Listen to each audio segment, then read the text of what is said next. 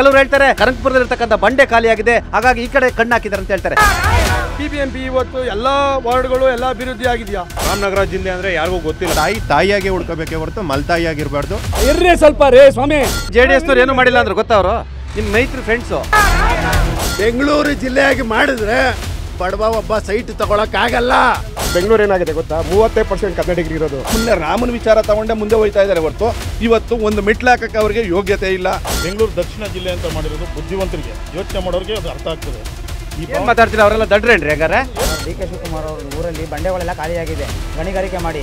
ಈಗ ರಾಮದ್ರ ಬೆಟ್ಟ ಒಂದೇ ಉಳಿದಿರೋದು. ಸನ್ಮಾನ್ಯ ಬಿ ಎಸ್ ಯಡಿಯೂರಪ್ಪನವರು ಯಡಿಯೂರಪ್ಪ ಅಂತ ಬದಲಾವಣೆ ಮಾಡ್ಕೊಂಡ್ರು. ಆಮೇಲೆ ಮುಖ್ಯಮಂತ್ರಿ ಆದರು. ಎಲ್ಲೋ ನನಗೂ ಒಂದು ನಂಬಿಕೆ ಇದೆ. ರಾಮನ ಹೆಸರು ಕೇಳಿದ್ರೆ ಉರಿ ಬೀಳ್ತಾರೆ.